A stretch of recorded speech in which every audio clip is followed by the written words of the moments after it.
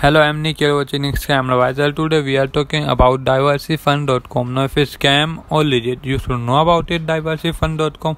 Stay connected with this video to know this. After a year of making money for others the traditional way, Craig saw how the rich kept getting richer.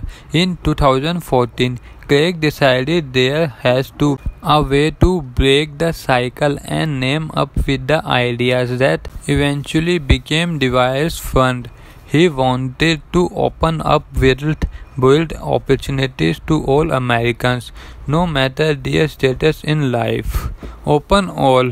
An amendment was made to the Just Start Our Business Startup Jobs Act that allowed companies like DiversyFunds to open up investment to everyone. This was a huge setup in allowing everyone to investment online partnering with the right people.